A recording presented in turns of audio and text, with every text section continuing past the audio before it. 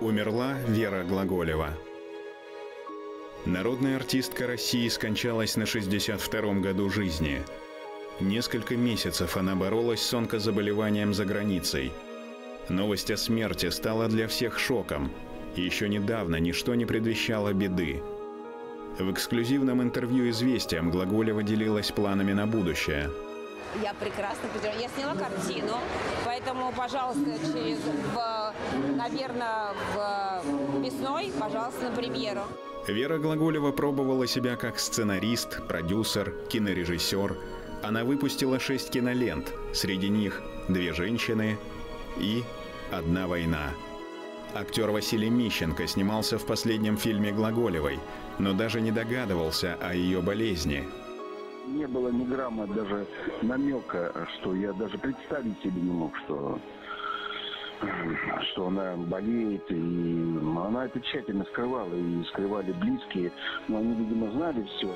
Вера Глаголева сыграла почти в 50 советских и российских фильмах. Зрителям полюбились ее роли в картинах «Искренне ваш», «Сошедшие с небес», «Бедная Саша», «Выйти замуж за капитана», я же взрослый человек. Я была замужем. Ты что, не знаешь, что одиноких женщин иногда посещают мужчины? Коллеги и близкие друзья актрисы не могут поверить в такую утрату. Подруга и коллега по съемочной площадке Марина Яковлева поделилась теплыми воспоминаниями. Она, конечно, личность, но она мощная. Она хрупкая, тоненькая, маленькая, но она очень сильная внутри, у нее очень сильный стержень. Она очень сильная женщина, волевая.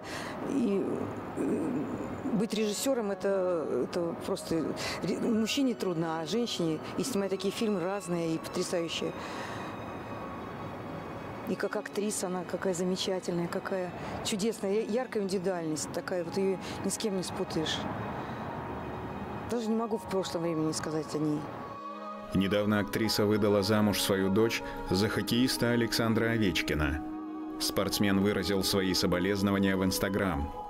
Тогда, на свадьбе дочери, Вера Глаголева уже знала о болезни, но всем своим видом показывала, что искренне счастлива.